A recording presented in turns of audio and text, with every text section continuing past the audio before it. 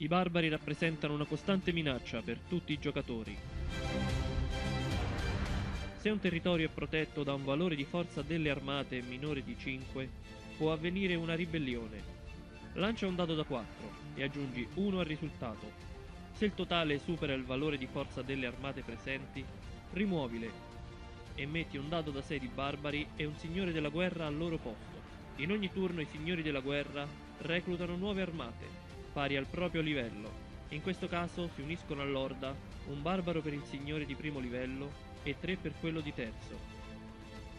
Se il valore di forza delle armate dei barbari eccede il limite di popolazione del territorio occupato, cioè 5, i barbari cercheranno nuovo spazio, muovendo guerra a un territorio adiacente.